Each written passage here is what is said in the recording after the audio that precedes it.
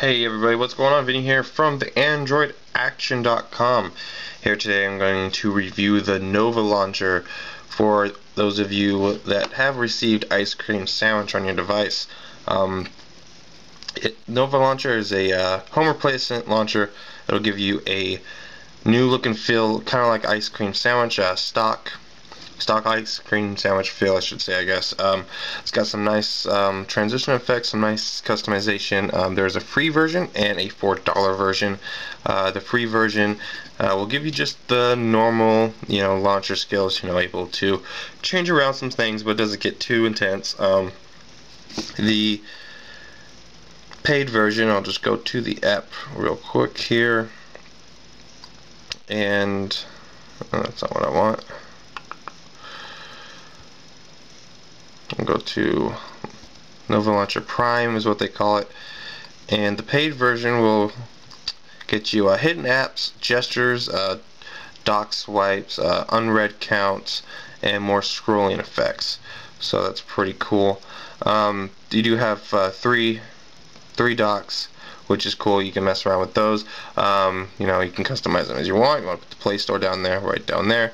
You want to show preview instead of the app drawer in the middle pull up a show preview of all your screens. We can jump to screen over here and just scroll through. As you can see, it's got this nice cool flip card animation. There's a couple more that you can mess with as well. Um, it's a really nice launcher. It's pretty lightweight. Doesn't come with a lot of widgets or anything. Um, you know, you can tap up here.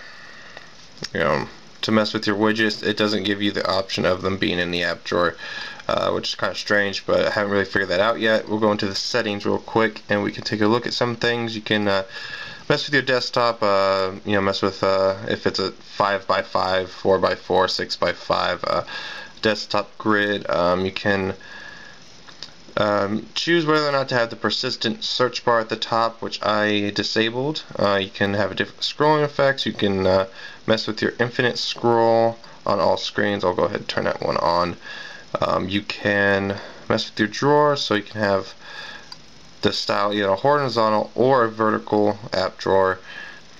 Just a bunch of cool things. Uh, ones right here, hide apps and drawer groups, which are prime version so it's going to cost you four dollars. Also you have uh, if you didn't see in there you have a background transparency so we'll just throw that in the middle and see what happens in a second. Uh, dock you can mess with your dock settings um, you know infinite scrolling show uh, show shadow all that kind of stuff dock pages, number of uh, pages, look and feel, not too much customization here, just uh, screen orientation, uh, screen speed, uh, animation speed, all that kind of stuff. Uh, folders, which is cool, I'll show you uh, what our folders look like. You can mess with it, have a stack, a grid, or a fan view of the icons and then we can go here and choose circle, square, or platform, which is neat. Or you can do a custom one, which I found pretty neat, but uh, you know didn't choose to do that. But uh, we'll go back in here and see now our app drawer is transparent. Looks pretty nice. I'm digging it. I might keep it that way.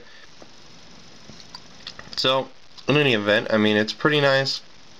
See here, uh, there's a folder that I have. You just tap it and boom. You know, looks normal like uh, ice cream sandwich would. You can name the folder. We'll name it. Uh, well, actually, I'm not going to go through all that. We'll just leave it as it is.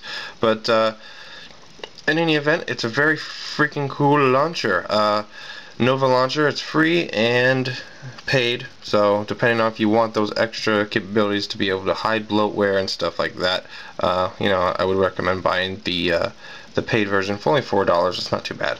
So, with all that being said, guys, I mean, uh, if you have any questions or anything, you can contact me on YouTube below on uh, the comments or on the site on the comments or hit me up on Twitter or Facebook um, on our respective pages. All those links will be down below for you to uh, be able to contact me. Also, don't forget to subscribe. If you haven't subscribed, subscribe. You know, we have phone phone reviews, app reviews, app lists, uh, how-tos, how-to-roots, all that sort of stuff going on on this channel. Very cool channel. Uh, so subscribe if you haven't yet. Uh, keep watching guys for the next video and I'll see you in the next one.